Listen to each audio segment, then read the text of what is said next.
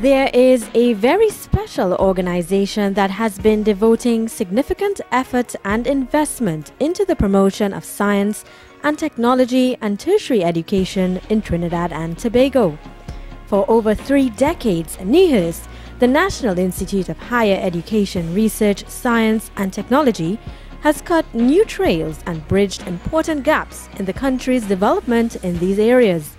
Its many pioneering initiatives have provided new avenues for the advancement of a diversified, knowledge based economy fueled by the creative abilities of all citizens. In the early 1970s, the government of Trinidad and Tobago recognized the need to restructure and rationalize the tertiary education sector and build capacity for research and development, paying particular attention to scientific and technological advances that were beginning to radically change and drive the global economy. The establishment of NIHERST in 1984 was to be the central pillar in that restructuring.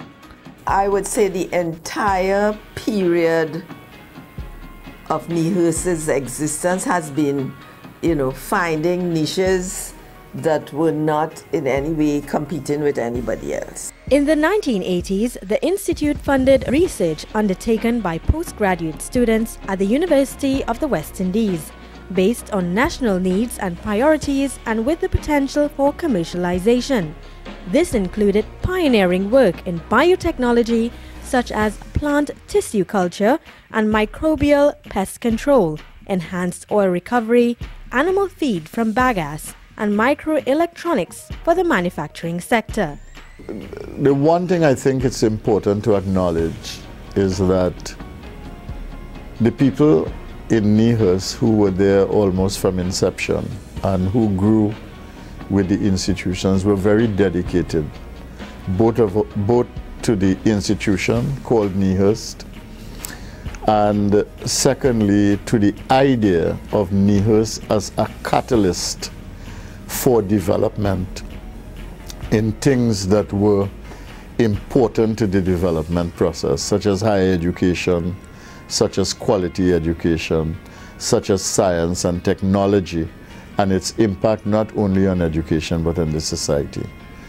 And that commitment to these very, very important things that are being recognized more and more as being essential to growth and development remained in the institutions with these people and basically they were able to inculcate a culture of appreciation and respect for these kinds of things in the institutions.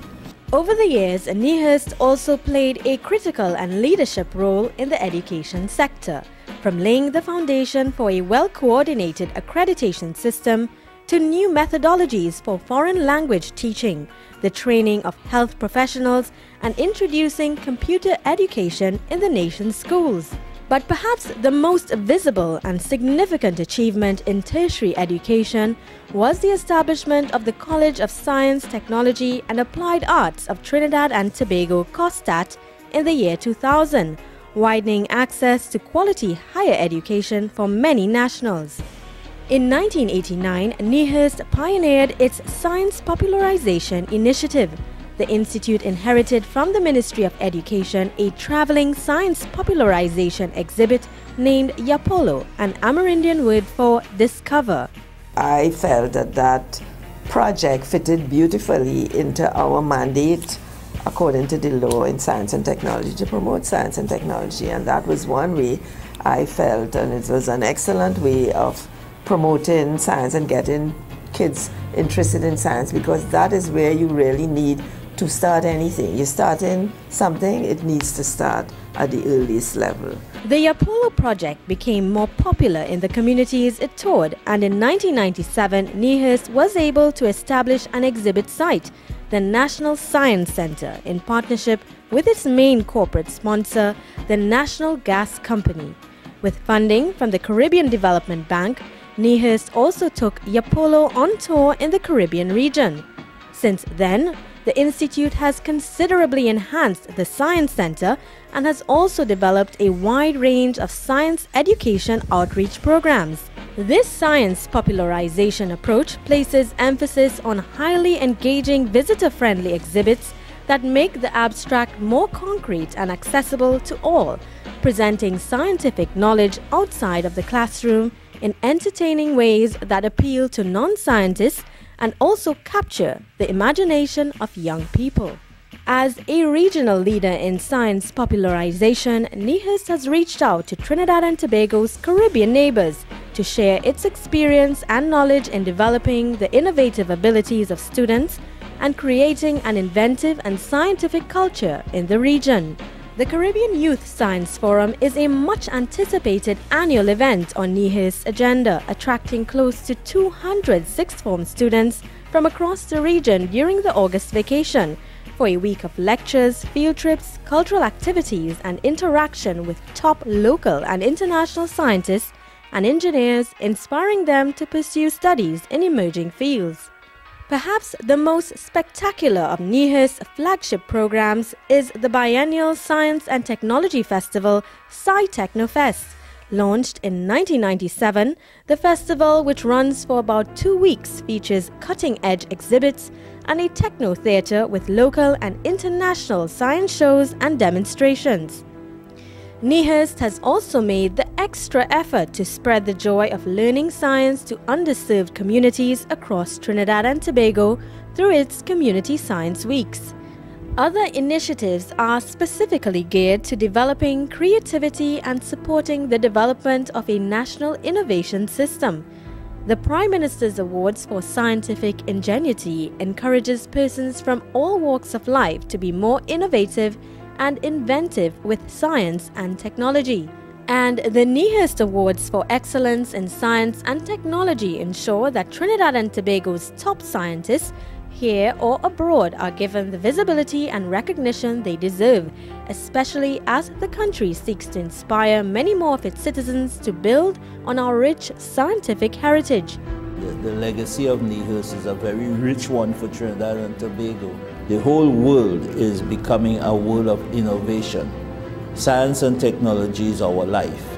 We are living in an information age where if you are not technology savvy, you, you will most definitely be left behind.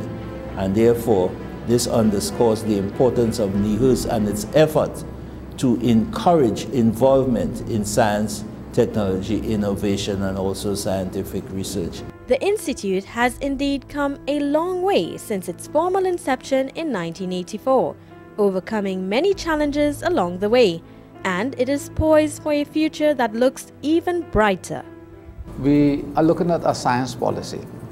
Trinidad and Tobago, we have done well in that we have had training, you know, at skills training. We have a lot of uh, university training. The next level is research and development. We need to solve problems, create new products, you know, make industries better, etc. And this is where the science and technology policy, in it, we're looking at actually two things, two serious sort of um, issues. One is the integration and secondly is the R&D fund. We don't have an R&D fund. All developed countries R&D range from 2 to 4%. Ours is below 0.1%. And we understand that, I mean, it's not been critical. We have to grow. You have to crawl before you walk, before you run. It has taken over two decades since the birth in 1989 of the Yapolo Traveling Science Exhibition and almost 20 years since the opening of the temporary National Science Center in Dabadie, but finally, the dream of a world class facility for fun, interactive learning of science and technology is about to be realized in NIHERST Science City at Indian Trail, Couva. We hope by moving to the Science City in Couva, which is 52 acres of land, um, in it would be a science center, immersive science center, and also high-tech labs. The idea there is for the science city to be like a mini Silicon Valley. I know it sounds presumptuous, but it can't be done. You have one spot. You need to get a critical mass of artists, of engineers, scientists, right? Business people in one spot in close proximity to each other to generate the ideas, to get a kind of, um, you know, upward spiral.